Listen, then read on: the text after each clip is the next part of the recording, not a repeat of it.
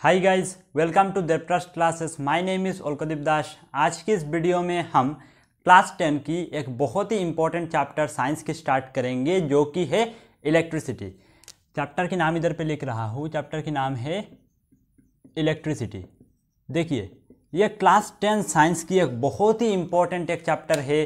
तो हमें क्या करना है? बहुत डिटेल्स में चैप्टर को पढ़ना है। जितना मैं बताऊँगा, उतना ही आपको फॉलो करना है। ठीक है भाई? चलिए तो इलेक्ट्रिसिटी के बारे में जब हम बात करते हैं, किसके बारे में? इलेक्ट्रिसिटी के बारे में। तब करंट जैसा कुछ हमारे ब्रेन में आता है। क्लियर है? चलिए।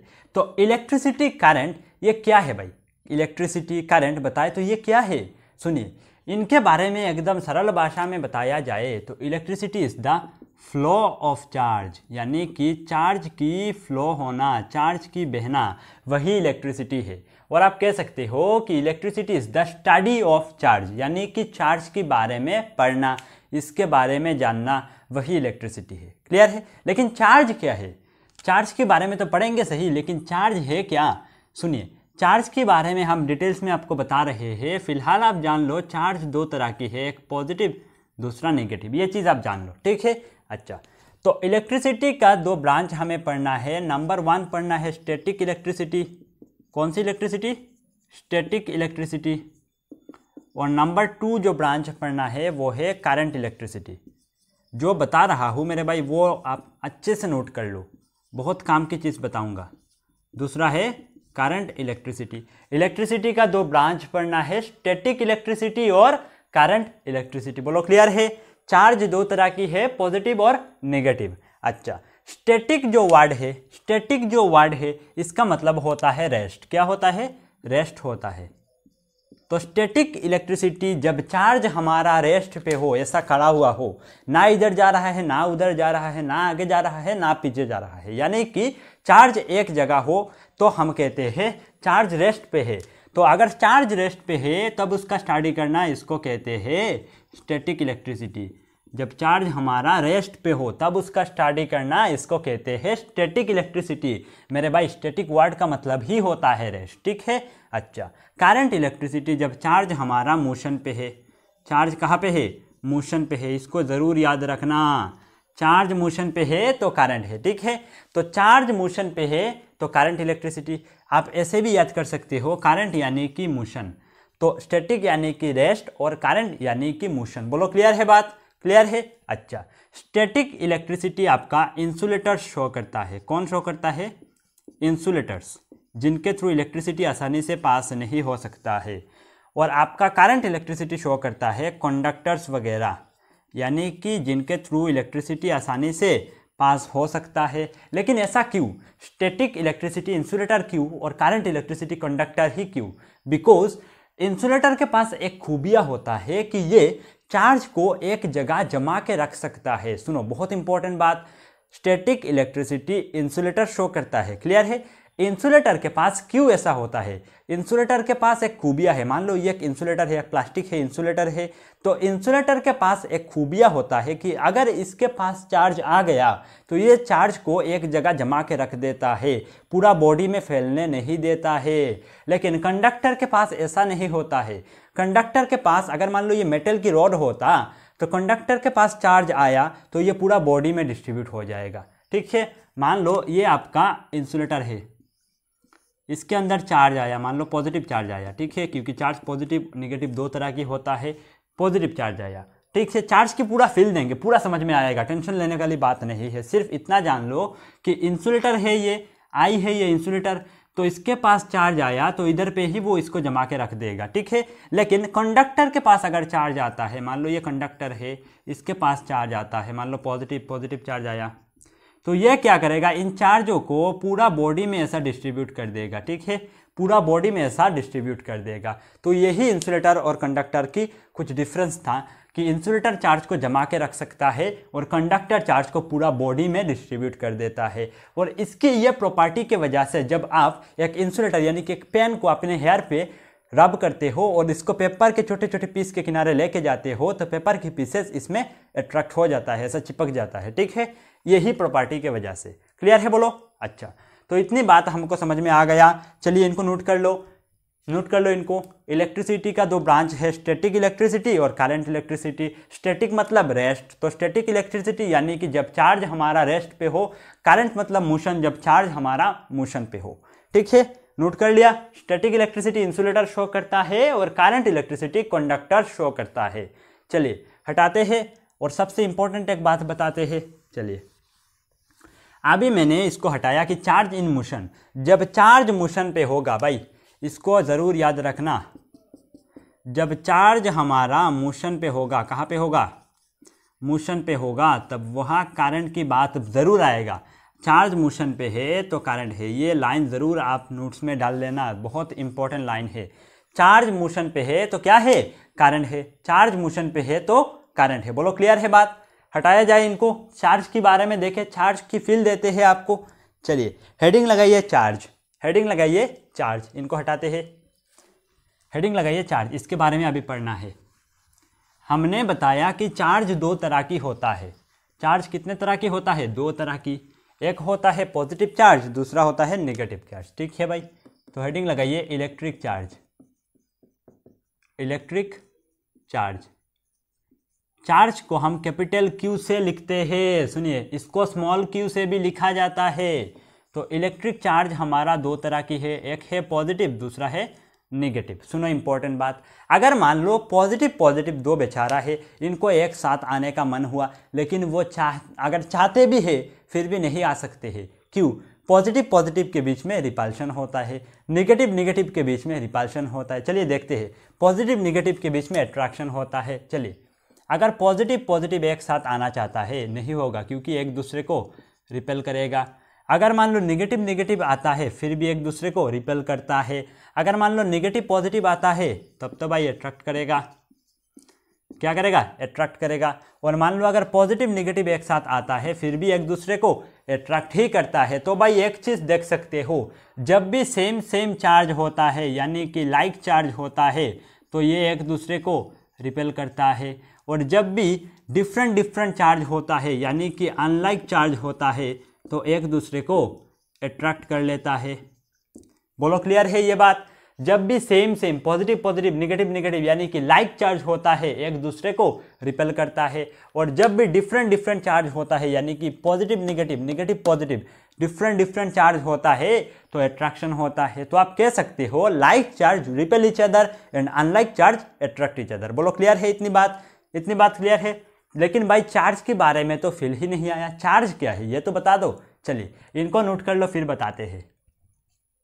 हटाया जाए? चलो। अभी सुनो, चार्ज क्या चीज़ है। एक ही बार में समझ में आएगा। सुनो। चार्ज कोई भी बॉडी का, किसका? कोई भी बॉडी का एक इंट्रेंसिक प्रॉपर्टी है। कोई भी पार्टिकल का एक इंट्रेंसिक प्रॉपर्टी है। एक अंदर की प्रॉपर्टी है। क्लियर है? जिस प्रॉपर्टी के वजह से ये बॉडी मान लो इस बॉडी के अंदर चार्ज है तो इस प्रॉपर्टी के वजह से, इस प्रॉपर्टी के वजह से ये बॉडी अपने आसपास ऐसा एक फ़ील्ड बनाएगा। क्या बनाएगा? फ़ील्ड बनाएगा। फिर से, मान लो इसके अंदर चार्ज है। इसके अंदर क्या है? चार्ज है। तो चार्ज होने के वजह से ये बॉडी अपने आसपास ऐसा एक फ़ील्ड बनाएगा, ऐसा एक इलाका बनाएगा। और इस फ़ील्ड के अंदर जो इसने बनाया है, अगर किसी दूसरे चार्ज बॉडी आया तो ये इसको एक इलेक्ट्रिकल फोर्स लगाएगा। क्या लगाएगा? इलेक्ट्रिकल फोर्स लगाएगा। देखिए क्या, मान लो ये एक चार्ज बॉडी है, इसके अंदर पॉजिटिव चार्ज है, ठीक है? क्योंकि चार्ज पॉजिटिव और नेगेटिव दो तरह की होता है तो मान लिया इसके अंदर पॉजिटिव चार्ज है, ठीक है? तो चार्ज होने के वजह से ये अपने आसपास ऐसा एक फ़ील्ड बनाएगा। क्या करेगा? फ़ील्ड बनाएगा, ठीक है? इस फ़ील्ड के अंदर जो इसने बनाया है, अगर किसी दूसरे चार्ज आया, मान लो एक पॉजिटिव चार्ज आया तो पॉजिटिव पॉजिटिव के बीच में रिपल्शन होता है, यानी कि इधर पे धक्का देगा, इसको रिपेल करेगा। क्या करेगा? रिपेल करेगा। मान लो इसे फ़ील्ड के अंदर एक निगेटिव चार्ज आया तो ये पॉजिटिव इस निगेटिव को अपनी तरफ़ ऐसा खींच लेगा।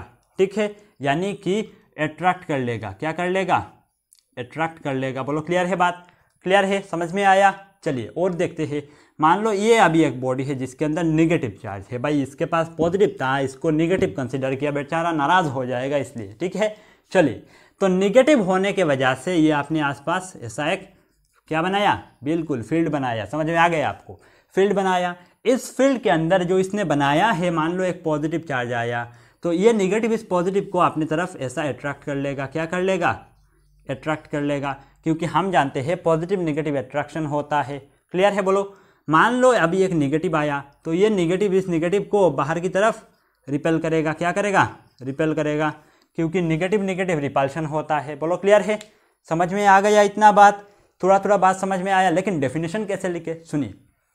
आप ऐसे लिख सकते हो कि charge is the intrinsic property of any body by virtue of which the body makes a field around itself and if any other charge come inside this field if any other charge come inside this field, then the body will apply an electrical force on the other charge body.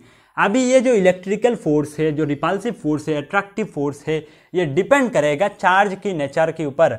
अगर positive positive है repulsion positive negative है attraction negative negative है repulsion negative positive है attraction यानी कि ये जो electrical force लगा रहा है ये ये यह किसके ऊपर डिपेंड करेगा? चार्ज की नेचर के ऊपर। इसलिए इसको हमने बताया है पहले ही।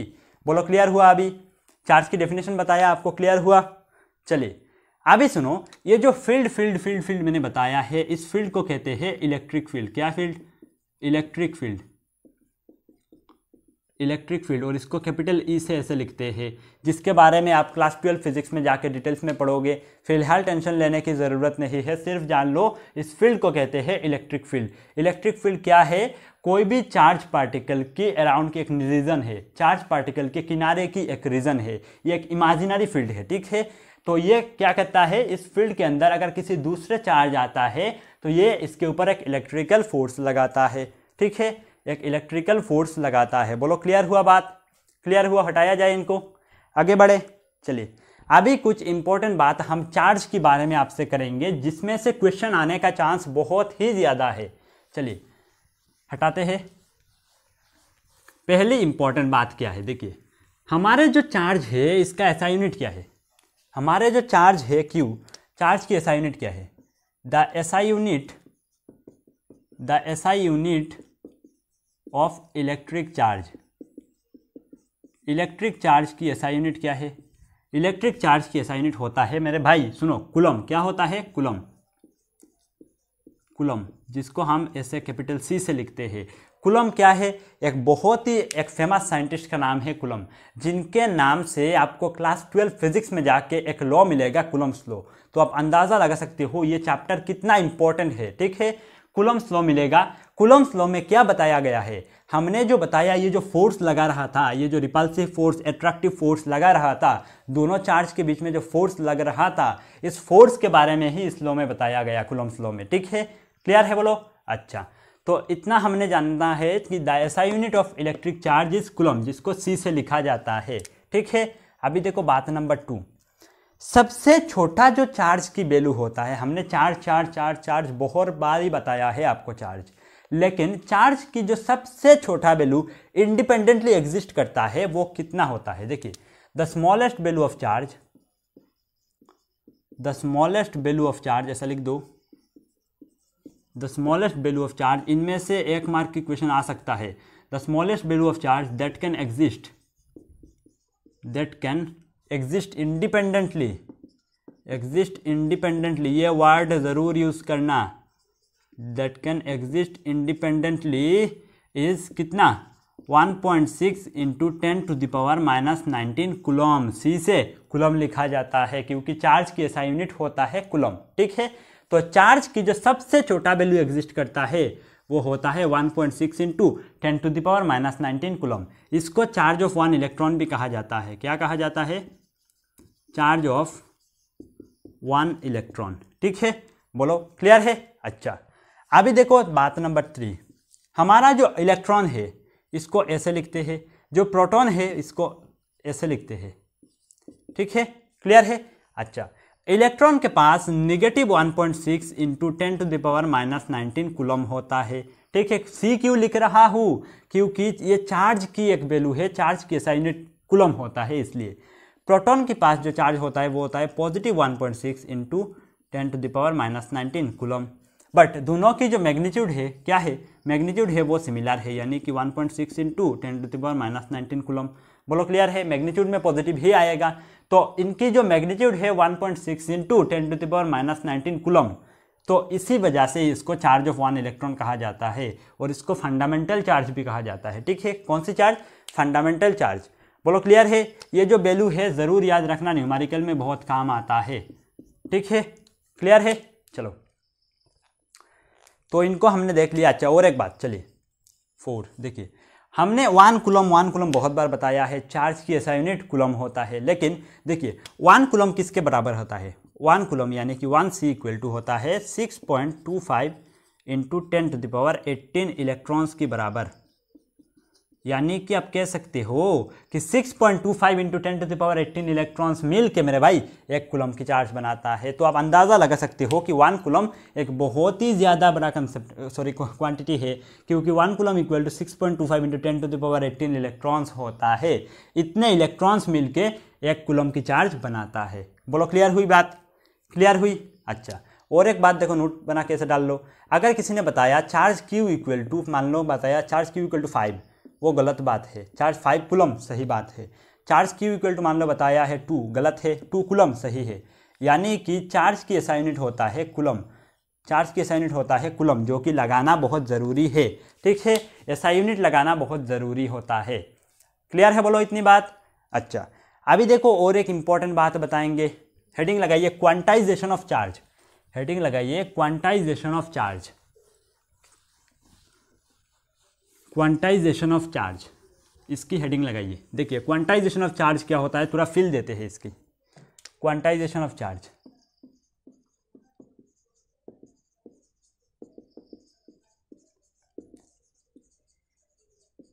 quantization of charge ठीक है? मान लो, कोई भी बॉडी को आपको चार्ज करना है। क्या करना है? चार्ज करना है। वैसे तो बहुत सारा प्रोसेस है। फ्रिक्शन से कर सकते हो आप कंडक्शन से कर सकते हो इंडक्शन से कर सकते हो, लेकिन हमारा जो बेसिक जो मेन जो हमारा मंत्र है, वो क्या है? देखिए, अगर किसी भी बॉडी को, मान लो ये एक बॉडी है, इसको चार्ज करना है, क्या करना है? चार्ज करना है। न्यूट्रल बॉडी है चार्ज करना है। तो आइधर आप उसको इलेक्ट्रॉन दे दो, क्या कर लो? इलेक्ट्रॉन दे दो और उससे इलेक्ट्रॉन बाहर ले लो। ठीक है? क्या बताया? अगर किसी बॉडी को, सुनो इंपॉर्टेंट बात, किसी बॉडी को चार्ज करना है आइधर उसको इलेक्ट्रॉन दे दो और उससे इलेक्ट्रॉन बाहर ले लो। क्लियर है? अगर आप उसको इलेक्ट्रॉन दे दोगे, मान लो इसके अंदर ऐसे पॉजिटिव निगेटिव शांति से बैठा था, ठीक है? अगर आप इसको इलेक्ट्रॉन दे दोगे तो एक इलेक्ट्रॉन ज़्यादा हो जाएगा, यानी कि निगेटिव चार्ज हो जाएगा, क्योंकि भाई इलेक्ट्रॉन के पास negative one point six into ten to the power minus nineteen होता है, हमने बताया है। तो आपने इलेक्ट्रॉन दे दिया, यानी कि एक निगेटिव एक्स्ट्रा हो गया, यानी कि इस बॉडी निगेटिवली चार्ज हो जाएगा, ठीक है? बॉडी निगेटिवली चार्ज हो जाएगा। अभी दूसरे केस में देखो ऐसे पॉजिटिव निगेटिव शांति से बैठा हुआ था न्यूट्रल था, आपने इलेक्ट्रॉन बाहर ले लिया, यानी कि इसको बाहर ले लिया तो बॉडी हो गया पॉजिटिव चार्ज बॉडी हो गया पॉजिटिवली चार्ज बोलो क्लियर है? फिर से, अगर आप इसको इलेक्ट्रॉन दे देते हो तो एक इलेक्ट्रॉन ऐसे गया निगेटिव देखिए निगेटिव का क्वांटिटी ज़्यादा हो गया तो बॉडी निगेटिवली चार्ज हो गया. क्लियर है? आप इससे इलेक्ट्रॉन बाहर ले रहे हो, यानी कि पॉजिटिव से निगेटिव हटा लिया तो निगेटिव पॉजिटिव बेचारा अकेला बचा है तो बॉडी हो गया पॉजिटिवली चार्ज तो आपकी जो मेन बात है वो क्या है? अगर आप एक बॉडी को चार्ज करना चाहते हो तो आइधर आप उसको इलेक्ट्रॉन दे दो आइधर आप उसको इलेक्ट्रॉन दे दो, यानी कि अगर आप इलेक्ट्रॉन दे दोगे, यानी कि माइनस ई क्लियर है? और आप उससे इलेक्ट्रॉन बाहर ले लो, यानी कि प्लस ई क्लियर है?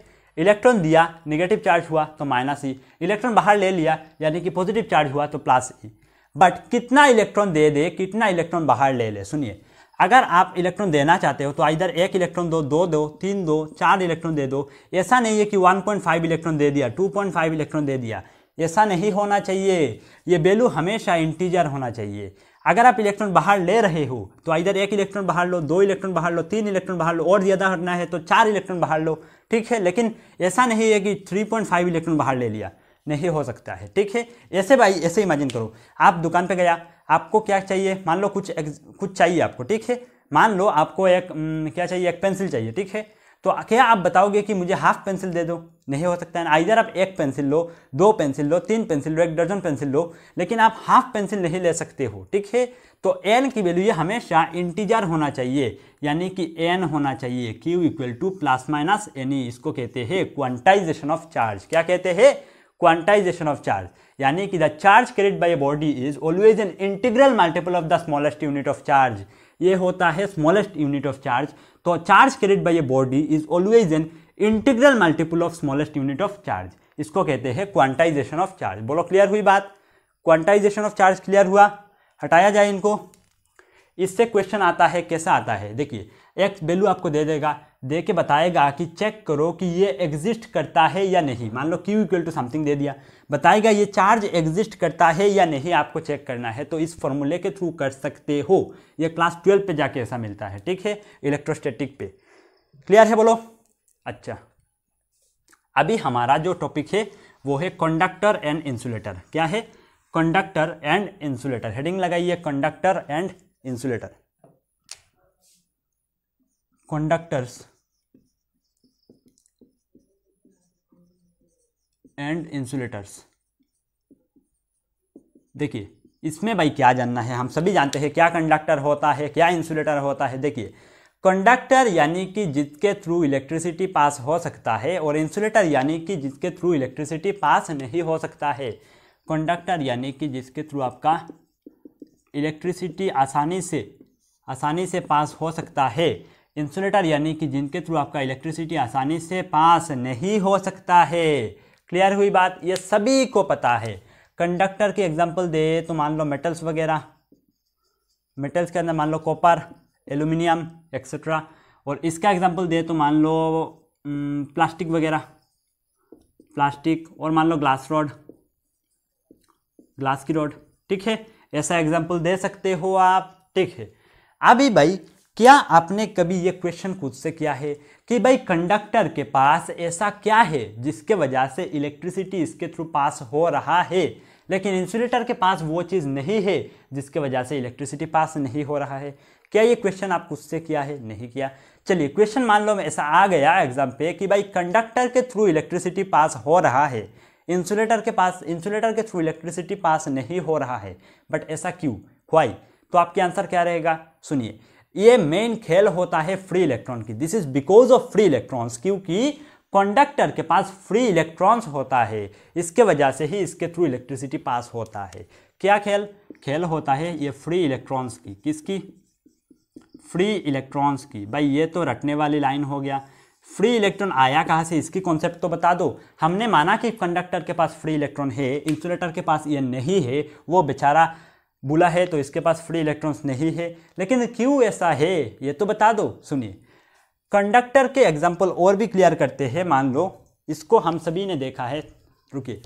ऐसे ओ यार, हम सभी ने देखा है। हमारे सभी का घर के होता है, ठीक है? घर पे होता है, ऐसा ओ यार। ये जो है प्लास्टिक का कवरिंग ये इंसुलेटर है। ये जो कॉपर की ओयर दिखाई दे रहा है ना, ये है हमारा कंडक्टर ठीक है? ये डिस्कनेक्टेड है भाई टेंशन लेने वाली बात नहीं है। चलिए तो इनको हमने देख लिया। सभी के घर पे ये है। तो ये जो कॉपर की वायर था, इसको थोड़ा बड़ा करके हम इधर पे बनाते हैं। चलिए, मान लो ऐसा। हम क्या बता रहे हैं? फ्री इलेक्ट्रॉन इसके पास कहाँ से आया? कंडक्टर के पास कहाँ से? वो दिखाने की कोशिश कर रहे हैं। और आप अगर इंसुलेटर के एग्जांपल दें तो मान लो ये ग्लास रोड और प्लास्टिक वगैरह। ठीक है? अच्छा। ये कॉपर की वो वायर था, वो प्लास्टिक की वो वायर था, ठीक है? अच्छा। तो एक चीज़ हम जानते हैं, जितना भी मेटर्स होता है, वो सभी अपने अपने एटोम से बना हुआ होते हैं। क्लियर है? जानते हैं? अच्छा। तो इसके पास, ये कॉपर की अगर वायर है तो इसके पास कॉपर एटम्स है। और ये अगर प्लास्टिक है तो इसके पास भी इसके एटम्स होंगे। ठीक है? तो बना देते हैं, मान लो। तो इसके पास ऐसे छोटे छोटे बहुत लाखों इलेक्ट्रॉन सॉरी एटम्स होंगे। एटम्स होंगे और इसके पास भी इसके एटम्स होंगे। ऐसे एक दो एटम्स नहीं होता है, लाखों एटम्स होता है। और ऐसा बड़ा बड़ा नहीं होता है, वो बहुत छोटा होता है। ठीक है? अच्छा। अभी हमारा मन इधर पे कुछ नहीं हुआ। हम क्या चाहिए? हमें इसको जूम करके देखना है। इसको भी जूम करके देखना है, किसी भी एक को, ठीक है? तो हमें इसका एटम कुछ यूँ दिखाई देगा। तो देखिए कंडक्टर के जो एटॉम की साइज़ है कंडक्टर की जो एटॉम की साइज़ है, वो थोड़ा बड़ा है और इंसुलेटर की जो एटॉम की साइज़ है, वो थोड़ा छोटा है। तो इससे क्या होता है? इसके लिए जो आउटर मोस्ट इलेक्ट्रॉन है कंडक्टर की एटॉम की केस में, ये आउटर मोस्ट इलेक्ट्रॉन न्यूक्लियस से थोड़ा दूरी पे है। देखिए, ये न्यूक्लियस से किनारे है, ये भी किनारे है, लेकिन ये जो इलेक्ट्रॉन है, वो थोड़ा दूरी पे है न्यूक्लियस के। इसलिए न्यूक्लियस की जो एट्रैक्टिव फोर्स है, वो इसे कम मिल रहा है। क्लियर है? इसके वजह से अगर बाहर से थोड़ा भी एनर्जी मिल जाए तो ये इलेक्ट्रॉन बाहर फ्री होके आ जाएगा। और यही इलेक्ट्रॉन जो बाहर फ्री होके आ गया, इसको कहते हैं फ्री इलेक्ट्रॉन क्या कहते हैं? जिसको कहते हैं फ्री इलेक्ट्रॉन। और यही फ्री इलेक्ट्रॉन कंडक्टर के पास होने के वजह से इसके थ्रू इलेक्ट्रिसिटी पास हो सकता है। लेकिन इंसुलेटर के केस में क्या होता है? इसका जो एटॉम की साइज़ है, वो आप देख सकते हो, इसके कंपैरिजन में छोटा है। तो आउटर मोस्ट इलेक्ट्रॉन को न्यूक्लियस की जितना भी अट्रैक्टिव फोर्स मिल रहा है, वो इससे खुश है भाई। तो ये बाहर फ्री होके नहीं आएगा। वो बाहर फ्री होके नहीं आएगा, यानी कि फ्री इलेक्ट्रॉन इंसुलेटर के केस में नहीं आएगा। अगर फ्री इलेक्ट्रॉन ही नहीं आएगा तो इंसुलेटर के थ्रू इलेक्ट्रिसिटी पास नहीं होएगा। ठीक है, क्योंकि फ्री इलेक्ट्रॉन क्या करता है? करंट बनाने में हेल्प करता है। क्लियर है बोलो? क्लियर है? कंडक्टर के पास फ्री इलेक्ट्रॉन कहाँ से आया? समझ में आ गया? कंडक्टर की एटॉम की जो साइज़ है, वो बड़ा होता है। साइज़ बड़ा होने के वजह से जो आउटर मोस्ट इलेक्ट्रॉन है, उसको न्यूक्लियस की अट्रैक्टिव फोर्स कम मिलता है। जिसके वजह से अगर बाहर से एनर्जी मिला तो ये बाहर फ्री होके आ जाता है। और यही इलेक्ट्रॉन को क्या कहते हैं? फ्री इलेक्ट्रॉन बट इसके केस में ऐसा नहीं होता है। क्यों नहीं होता है? क्योंकि इसका जो साइज़ है, वो छोटा है। इसके लिए जो आउटर मोस्ट इलेक्ट्रॉन को जितना भी अट्रैक्टिव फोर्स मिल रहा है वो इससे खुश है भाई। ठीक है? बोलो क्लियर है? इसलिए इसके केस में फ्री इलेक्ट्रॉन नहीं आता है। क्लियर है? तो हमने क्या देखा? फिर से देखते हैं, इसको हटा देते हैं। चलिए नोट करना है तो कर लो। चलिए। हमने देखा कि कंडक्टर के पास फ्री इलेक्ट्रॉन होता है और इंसुलेटर के पास फ्री इलेक्ट्रॉन नहीं होता है। तो भाई, हम इंसुलेटर की बात नहीं करेंगे। हम बात करेंगे कंडक्टर की। तो बना दो एक कंडक्टर चलिए मार्कर चेंज करते हैं। बना दो एक ऐसे कंडक्टर इधर पे। ऐसा एक कंडक्टर बना दो। ठीक है? इसके अंदर हमने देखा कि ऐसे एटॉम्स थे। ऐसे एटॉम्स थे। और एटॉम की आउटर मोस्ट सेल से इलेक्ट्रॉन ऐसा बाहर आया था। ठीक है? जिनको हमने फ्री इलेक्ट्रॉन नाम दिया। फ्री इलेक्ट्रॉन नाम दिया था। ठीक है? अच्छा। तो अभी हम इन एटॉम को थोड़ा साइड में रखते हैं और फ्री इलेक्ट्रॉन्स की बात करते हैं। तो चलिए एटॉम को थोड़ा हटा देते हैं इधर से। एटम को हटा देते हैं और ये जो इलेक्ट्रॉन्स है फ्री इलेक्ट्रॉन्स है, उनकी बात करते हैं। देखिए, अभी स्टार्ट हो रहा है, सबसे इंपॉर्टेंट बात मन लगा के देखिए। ये जो फ्री इलेक्ट्रॉन्स है, कहाँ पे? कंडक्टर के अंदर। वो ऐसा शांति से बैठा नहीं है। वो रैंडमली मूव करता रहता है। इसको इधर मान लो जाने का मर्ज़ी है, जा रहा है। इसको इधर मन है, जा रहा है। इसको इधर जा रहा है। इसको इधर जा रहा है। यानी कि जिसको जहाँ मर्ज़ी वहाँ जा रहा है। उनका जो रैंडम मोशन है, वो चलता रहता है कंडक्टर के अंदर। किसका रैंडम मोशन फ्री इलेक्ट्रॉन का। कैसा कैसा मोशन रैंडमली मूव करता रहता है। अभी देखिए, क्या ये फ्री इलेक्ट्रॉन्स पागल है? क्यों भाई ऐसे रैंडम मूव करेगा? क्योंकि थर्मल एनर्जी के वजह से वो रेंडमली मूव करता रहता है। मान लो बाहर की टेम्परेचर ज़्यादा है, अंदर की टेम्परेचर थोड़ा कम है तो देखिए बाहर से उसको, उनको काइनेटिक एनर्जी मिलेगा, उनकी मॉलिक्यूल्स को तो वो भागना स्टार्ट कर देगा। थोड़ा डेप्थ कंसेप्ट है इतना जाने की ज़रूरत नहीं है। आप सिर्फ़ इतना जान लो कि कंडक्टर के पास फ्री इलेक्ट्रॉन्स होता है। कैसे आता है? हमने दिखाया एटॉमिक स्ट्रक्चर बना के। ठीक है? ये फ्री इलेक्ट्रॉन्स कंडक्टर के अंदर रैंडमली मूव करता रहता है। कैसा मूव करता रहता है? रैंडमली मूव करता रहता है। क्यों मूव करता रहता है? थर्मल एनर्जी के वजह से। अच्छा। ये सीन कुछ ऐसा भी आप याद रख सकते हो कि मान लो ये आपका क्लासरूम है। क्या है? क्लासरूम है और ये क्लासरूम के अंदर कुछ शैतान बच्चे। ठीक है? अच्छा क्लासरूम पे अभी कोई भी टीचर नहीं है। ठीक है? तो भाई ये क्या शांति से बैठा रहेंगे? बिल्कुल नहीं। वो क्या करेंगे? पढ़ाई करते रहेंगे। बिल्कुल नहीं। ज़ीरो चांस है। तो वो क्या करेंगे? जिसको जहाँ मर्ज़ी इधर, उधर इधर, उधर भागता रहेगा। ये जो शैतान बच्चे हैं क्लासरूम के। ठीक है? अच्छा। अभी अगर इनकी ये जो रेंडम मोशन है, इनको हटा के एक स्पेसिफिक वेलोसिटी स्पेसिफिक दिशा देना है तो क्या करना पड़ेगा? क्लासरूम पे टीचर की आना ज़रूरी है। टीचर को आना पड़ेगा। तो चलिए, वैसे ही कंडक्टर के पास जो फ्री इलेक्ट्रॉन्स है, उनको स्पेसिफिक दिशा देने के लिए एक टीचर यानी कि सेल और बैटरी का कनेक्ट करना ज़रूरी है। ये होता है हायर पोटेंशियल ये होता है लोअर पोटेंशियल ये क्या है? ये एक बैटरी और सेल सेल बना देते हैं इधर। ये एक सेल है। देखिए सेल और बैटरी में डिफरेंस क्या होता है? देखिए सेल होता है एक सिंगल यूनिट यानी कि एक बड़ा डंडा एक छोटा डंडा ऐसा। हायर पोटेंशियल लोअर पोटेंशियल और बैटरी होता है कॉम्बिनेशन ऑफ़ सेल यानी कि बड़ा, छोटा बड़ा छोटा बड़ा, छोटा, ऐसा। जब दो तीन सेल एक साथ कनेक्ट कर देते हैं, तब उसको बैटरी कहते हैं। क्लियर है? यह है बैटरी, यह है सेल। तो ये हमने एक सेल कनेक्ट किया। सेल कनेक्ट करने से क्या हुआ? इलेक्ट्रॉन की जो ये रैंडम मोशन है, ये हट जाएगा। तो अभी वो कैसा मूव करेगा? देखिए, ऐसा था इलेक्ट्रॉन हमारा। ठीक है? तो अभी इस निगेटिव के वजह से इधर आएगा निगेटिव इस पॉजिटिव के वजह से इधर आएगा पॉजिटिव। अभी देखो निगेटिव ने निगेटिव इलेक्ट्रॉन को, इन सभी निगेटिव इलेक्ट्रॉन को इस डिरेक्शन पे धक्का देगा रिपेल करेगा। इलेक्ट्रॉन पे निगेटिव चार्ज होता है, इधर पे निगेटिव चार्ज तो निगेटिव निगेटिव रिपल्शन होगा इलेक्ट्रॉन इस दिशा में भागेगा। बोलो क्लियर हुई बात? बोलो क्लियर हुई। क्लासरूम पे टीचर आया स्टूडेंट भागना स्टार्ट कर दिया, ठीक है?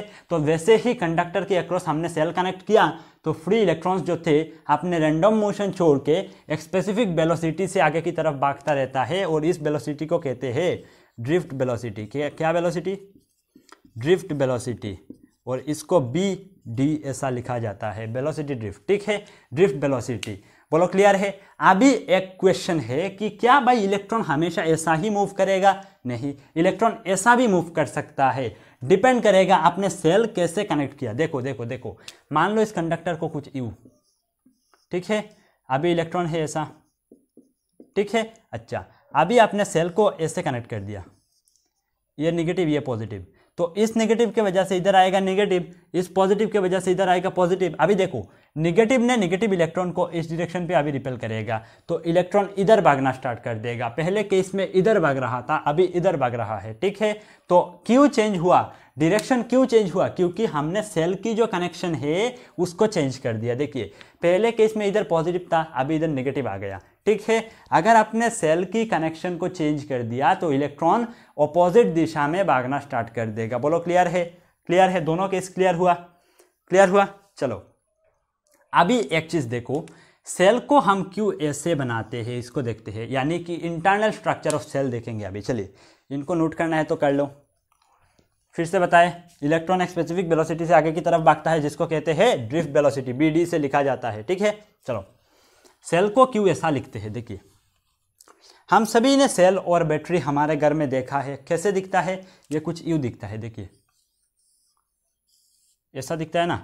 चलिए, अगर आपने कभी सेल को ऐसा खुल के देखा है तो इसके अंदर ऐसा एक रॉड मिलेगा आपको। ठीक है? ये केमिकल है और इधर पे कुछ पाउडर लाइक सब्सटेंसेस देखने को मिलेगा। तो इन दोनों केमिकल के बीच में, रॉड पाउडर के बीच में एक केमिकल रिएक्शन होता है। क्या होता है? एक केमिकल रिएक्शन होता है। बेसिकली बोले तो एक रेडॉक्स रिएक्शन होता है। ठीक है?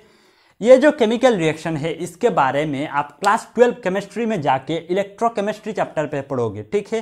फ़िलहाल आप जान लो कि बैटरी के अंदर दो केमिकल के बीच में एक केमिकल रिएक्शन होता है और इस रिएक्शन के वजह से इस साइड नेगेटिव चार्ज एकमुलेट होना नेगेटिव चार्ज आना शुरू कर देता है और नेगेटिव अगर इस साइड आएगा तो पॉजिटिव बेचारा अकेला इस साइड बनना शुरू कर देगा। बोलो क्लियर हुई बात?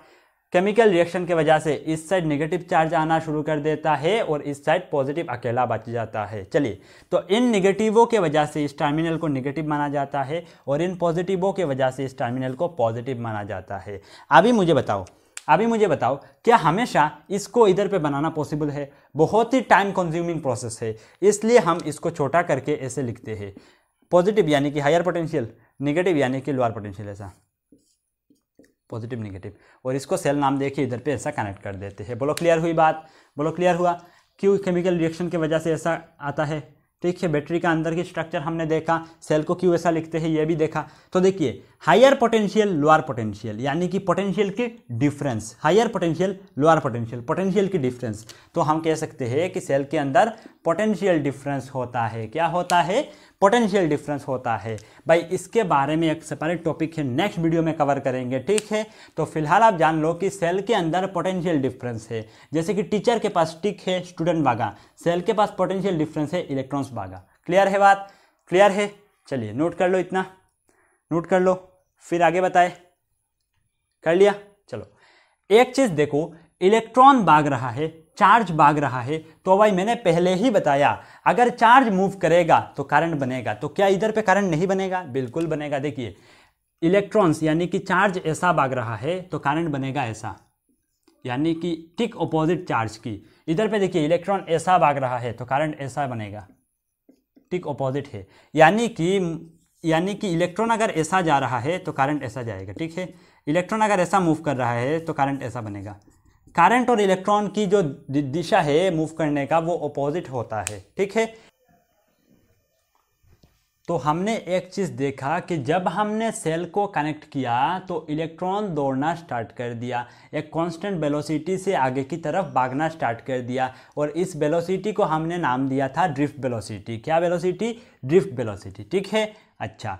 इस केस में देखो इलेक्ट्रॉन इधर से इधर मूव कर रहा है, यानी कि राइट से लेफ़्ट की तरफ़ भाग रहा है, ठीक है? लेकिन इसके केस में इलेक्ट्रॉन लेफ़्ट से राइट की तरफ़ भाग रहा है। क्या सही बात? ऐसा क्यों हो रहा है? देखिए, ऐसा हो रहा है बैटरी के कनेक्शन के वजह से। देखिए, इधर पे हमने बैटरी का हायर पोटेंशियल को इस साइड रखा तो पॉजिटिव आया इधर।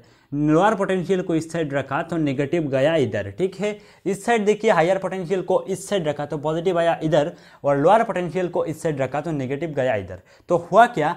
निगेटिव के वजह से निगेटिव इलेक्ट्रॉन के ऊपर रिपल्शन हुआ। ये बाई निगेटिव ने इलेक्ट्रॉन के ऊपर नेगेटिव चार्ज होता है तो रिपेल किया, इलेक्ट्रॉन इस डायरेक्शन पे भागना स्टार्ट कर दिया। इस केस में देखो, इस निगेटिव के वजह से इधर आया निगेटिव तो निगेटिव ने निगेटिव इलेक्ट्रॉन को इस डायरेक्शन पे रिपेल किया तो इलेक्ट्रॉन अभी इधर भागना स्टार्ट कर दिया। तो हमने देखा कि जब हम सेल को ऐसे कनेक्ट करते हैं इलेक्ट्रॉन ऐसा भागता है, और जब हम सेल को ऐसे कनेक्ट करते हैं तो इलेक्ट्रॉन ऐसा भागता है।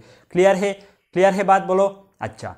तो अभी मेरा क्वेश्चन कुछ यूँ, हमने पहले ही आपको बताया था, जब भी चार्ज यानी कि इलेक्ट्रॉन्स मूव करेगा तो इधर पे करंट की बात आएगा, यानी कि करंट बनेगा। ठीक है? चार्ज मूव कर रहा है तो करंट बनेगा। ठीक है? ये बात हमने बताया। चार्ज चार्ज मूव कर रहा है तो करंट है। ठीक है? तो भाई, इधर पे भी तो चार्ज मूव कर रहा है। गौर से देखो, इधर पे भी तो चार्ज मूव कर रहा है इलेक्ट्रॉन भाग रहा है। क्लियर है? इधर पे भी तो इलेक्ट्रॉन भाग रहा है तो क्या करंट है इधर पे?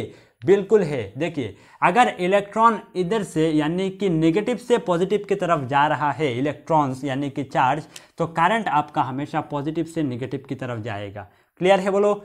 इस केस में देखो, इलेक्ट्रॉन नेगेटिव से पॉजिटिव की तरफ़ जा रहा है तो आपका करंट जो है वो पॉजिटिव से नेगेटिव की तरफ़ होगा। करंट को आई से लिखते हैं। करंट को आई से लिखते हैं। ठीक है? क्लियर है बोलो? अगर इलेक्ट्रॉन ऐसा जा रहा है तो करंट ऐसा जाएगा। क्लियर है? अगर इलेक्ट्रॉन ऐसा जा रहा है, करंट ऐसा जाएगा। अगर इलेक्ट्रॉन, मान लो कि आपकी ऐसा जा रहा है तो करंट आपकी ऐसा जाएगा। पूरा ऑपोजिट होगा दोनों का डायरेक्शन चार्ज यू जा रहा है करंट यू आएगा। ठीक है? बट ऐसा क्यों होता है? सुनिए। ऐसा क्यों होता है? दिस इज़ बिकॉज़ कि करंट की जो इन्वेंशन हुआ था, वो इलेक्ट्रॉन की इन्वेंशन से बहुत पहले हुआ था। यानी कि जब करंट के बारे में जाना गया था, तब इलेक्ट्रॉन के बारे में किसी को भी कुछ पता नहीं था। ठीक है? किसी को भी कुछ प्रॉपर नॉलेज नहीं था इलेक्ट्रॉन्स के बारे में, जब करंट की डिस्कवरी हुआ था। इसलिए ये माना जाता है कि करंट हमेशा पॉजिटिव से, यानी कि हायर पोटेंशियल से लोअर पोटेंशियल की तरफ़ मूव करता है। इस केस में भी देखिए करंट हमेशा पॉजिटिव से, यानी कि इधर से लोअर पोटेंशियल की तरफ़ मूव करता है। ठीक है? ये एक कन्वेंशनल डायरेक्शन है करंट की। लेकिन बाद में ये रियलाइज़ किया गया, ये जाना गया कि भाई इधर पे तो खेल इलेक्ट्रॉन का भी है। ये तो खेल इलेक्ट्रॉन ही खेल रहा है। ठीक है? क्लियर है बोलो? इसलिए ऐसा ऑपोजिट डायरेक्शन माना जाता है दोनों का। ठीक है? अभी मेरा बात कुछ ही हूँ। कि भाई चार्ज ने मूव किया करंट बना। चार्ज ने मूव किया करंट इधर पे भी बना। तो करंट हेडिंग लगाइए इलेक्ट्रिक करंट इसके बारे में डिटेल्स में जानते हैं। हेडिंग लगाइए इलेक्ट्रिक करंट बोलो हेडिंग लगाइए। Electric current electric current current को हम आई से लिखते हैं। देखिए आई से लिखते हैं तो इसको स्मॉल आई से भी लिखा जाता है। कोई दिक्कत वाली बात नहीं है। अच्छा इलेक्ट्रिक करंट हमने देखा चार्ज ने फ्लो किया करंट बना। तो हम कह सकते हैं कि current is basically rate of rate of flow of charge rate of flow of charge electrons और चार्ज ने जब फ्लो किया, तब करंट बना। तो current is basically rate of flow of charge अभी भाई रेट क्या है? रेट क्या है? ये बता दो।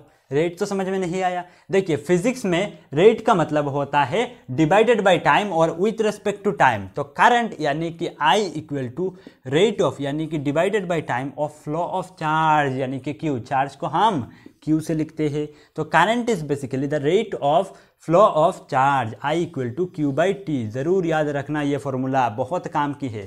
ठीक है? अभी देखो क्यू का जो ऐसा यूनिट अच्छा अच्छा अच्छा। आई इधर पे क्या है? आई है करंट आई क्या है?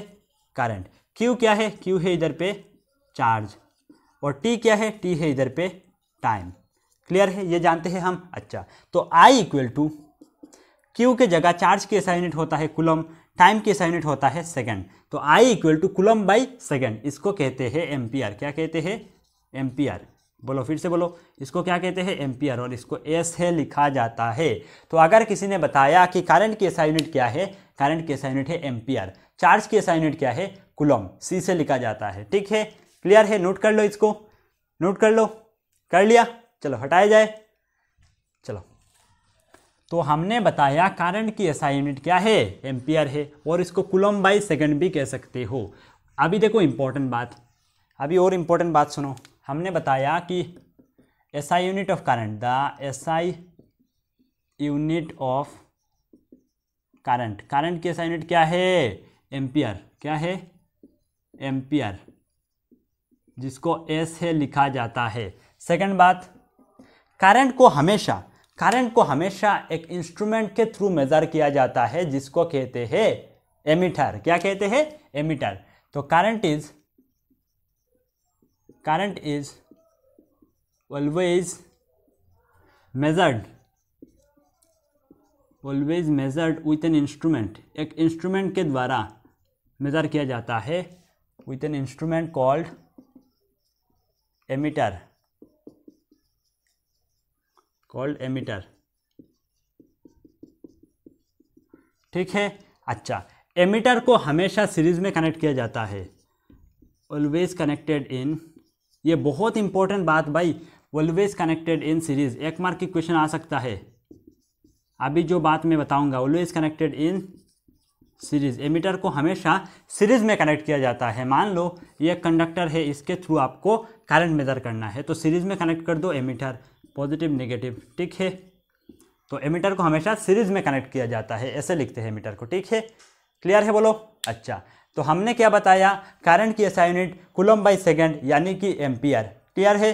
अच्छा करंट को एक इंस्ट्रूमेंट के द्वारा मेजर किया जाता है, क्या नाम है? एमीटर। एमीटर को कैसे कनेक्ट किया जाता है? सीरीज़ में। अभी एमीटर दिखता कैसा है, वो भी बता देते हैं। चलिए, एमीटर कुछ ऐसा दिखता है। कुछ ऐसा दिखता है एमीटर। देखिए, ऐसा होगा कुछ एमीटर अगर आपने लैब पे कभी देखा है तो। इधर पे इधर पे एक निडल होता है जो कि रीडिंग देता है पॉजिटिव नेगेटिव ठीक है? भाई, और क्या बताए? और क्या बताए? क्लियर है? ऐसा होता है एमीटर ठीक है? अच्छा अभी देखो दो तीन क्वेश्चन हम सॉल्व करेंगे। एनसीईआरटी का होगा, जो कि बहुत इंपॉर्टेंट है। उनको सॉल्व करने से पहले हमें I equal to Q by T ये फॉर्मूला हमारा खून में दौड़ना चाहिए। I equal to Q by T current equal to rate of law of charge Q इधर पे चार्ज है टी इधर पे टाइम है, यानी कि सेकंड ठीक है? टाइम के यूनिट क्या होता है? सेकंड ठीक है? अच्छा तो हमने पढ़ा I is equals to Q by T ठीक है? अच्छा इधर पे आई क्या है? आई की ऐसा यूनिट है एम्पियर यानी कि ए क्यू की ऐसा यूनिट क्या है? कुलम यानी कि सी और टाइम की ऐसा यूनिट सेकेंड यानी कि एस ठीक है? तो one ampere equal to one coulomb by one second clear है? अभी अगर मान लो एग्ज़ाम में क्वेश्चन आ गया डिफाइन वन कुलम ये एनसीईआरटी का क्वेश्चन है। Define one sorry define one ampere पहले करते हैं। डिफाइन वन एम्पियर ये एनसीईआरटी का क्वेश्चन है भाई। एनसीईआरटी का। डिफाइन वन एम्पियर कि भाई वन एम्पियर डिफाइन करो। तो देखिए, कैसे आप आंसर करोगे? इधर से आंसर आएगा। I equal to Q by T I यानी कि एम्पियर क्यू यानी कि कुलम टी यानी कि सेकेंड ठीक है? तो one ampere is that amount of current ampere क्या है? करंट की यूनिट। तो one ampere is that amount of current produced when one coulomb charge flows in one second जब एक कुलम चार्ज अरे भाई, जब चार्ज फ्लो करेगा तभी तो करंट बनेगा। तो one ampere is that amount of current जब वन कुलम चार्ज एक सेकेंड में फ्लो करता है। जब एक कुलम चार्ज एक सेकेंड में फ्लो करता है तो जितना करंट बनता है, वही वन एम्पियर कहलाता है। तो आप लिख दो इधर पे कि वन एम्पियर, ये लिख देते हैं। One ampere is that amount of current that amount of current produced produced when 1 coulomb charge 1 coulomb charge flows in 1 second through a circuit through a circuit ऐसे लिख देना ठीक है one ampere is that amount of current produced when one coulomb charge flows in one second जब एक coulomb charge flow करेगा भाई, जब चार्ज फ्लो करेगा तभी तो करंट बनेगा ना। तो जब एक कुलम चार्ज एक सेकंड में फ्लो होता है, तब जितना अमाउंट ऑफ़ करंट बनता है, वही वन एम्पियर कहलाता है। ठीक है? सेकंड क्वेश्चन मान लो। इसके ऊपर स्टार लगा दो, बहुत इंपॉर्टेंट इसके ऊपर भी स्टार मार दो। मान लो क्वेश्चन आ गया define one coulomb define one coulomb define one coulomb ठीक है तो आपका आंसर क्या होगा? देखिए, इसको क्रॉस मल्टीप्लाई करो। One coulomb equal to one ampere into one second ठीक है तो देखिए define one coulomb one coulomb is that amount of charge transported by one ampere current in one second एक एम्पियर करंट एक second में जितना charge transport करेगा, वही वन कुलम कहलाएगा। तो one coulomb is that amount of charge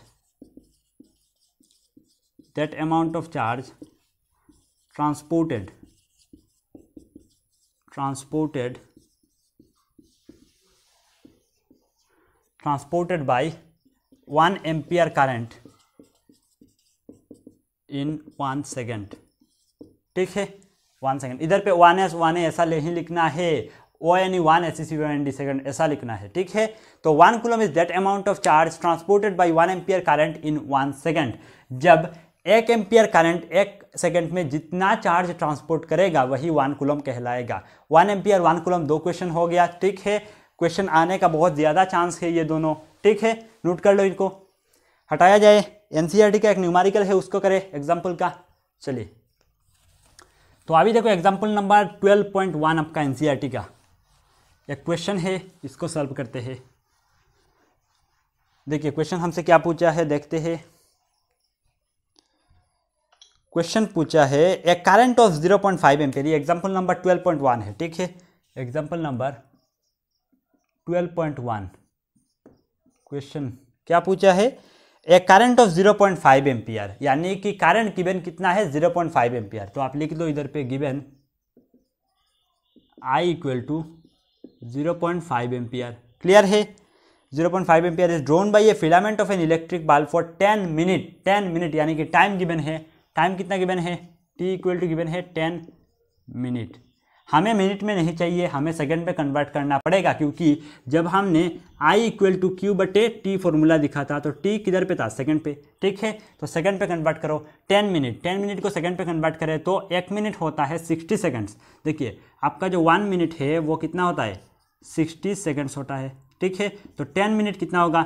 ten into यानी कि सिक्स सेकेंड ठीक है? सिक्स हंड्रेड सेकेंड ऐसा एस लिख देते हैं।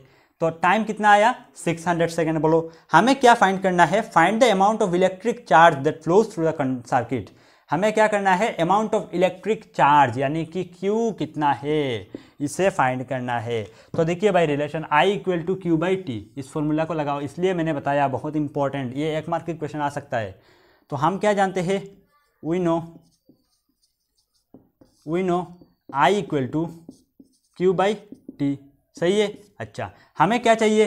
क्यू चाहिए। तो क्यू इक्वल टू आएगा आई इंटू टी बोलो, सही है? अच्छा। आई का वैल्यू है? ज़ीरो पॉइंट फाइव टाइम कितना है? Six hundred five six thirty ठीक है? तो ये आएगा थ्री हंड्रेड हाँ सही है। Three hundred coulomb Q equal to कितना आएगा? क्यू आएगा थ्री हंड्रेड कुलम अगर आपने सी को नहीं लिखते हो तो क्वेश्चन गलत हो जाएगा भाई, क्योंकि यूनिट लगाना ज़रूरी है। थ्री हंड्रेड कुलम चार्ज की यूनिट कुलम ठीक है? अगर किसी ने बताया आई इक्वल टू फाइव गलत बात। I equal to five ampere सही बात। आई इक्वल टू किसी ने बताया, अगर मान लो टू गलत है टू एम्पियर सही है। ठीक है? यानी कि करंट के साइनेट एम्पियर लगाना बहुत ज़रूरी है। क्लियर है बात? क्लियर है? अच्छा अभी और दो तीन क्वेश्चन है, इनको देखते हैं। क्वेश्चन नंबर वन जो पूछा है एनसीईआरटी e का ही ये। पेज नंबर टू हंड्रेड का।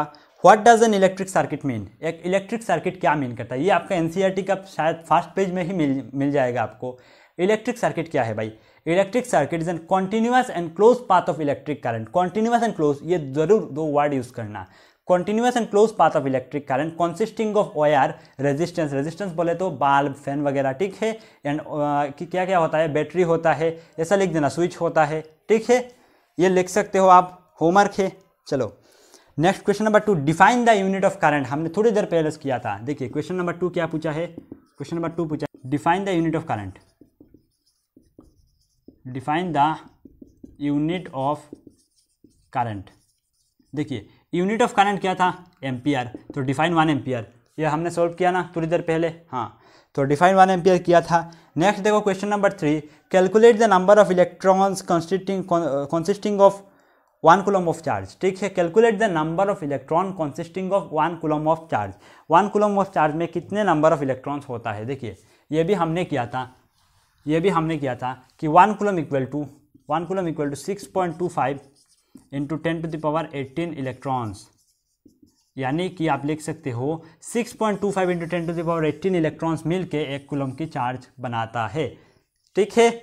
हो गया क्वेश्चन सॉल्व सारा? चलिए। तो आज के वीडियो में बस इतना ही। हमने पूरा कारण की टॉपिक आपको क्लियर कर दिया। नेक्स्ट वीडियो में हमने क्या स्टार्ट करना है? देखिए, हमने बताया था ये जो सेल के पास, ये जो सेल के पास जो हमारा पोटेंशियल डिफरेंस था। पोटेंशियल डिफरेंस था। वो कहाँ से आया है? इसके बारे में पूरा डिटेल्स में बात करना है। पोटेंशियल डिफरेंस के बारे में। क्लियर है? तो नेक्स्ट वीडियो में हम पोटेंशियल डिफरेंस के टॉपिक से स्टार्ट करेंगे। तब तक के लिए बाय बाय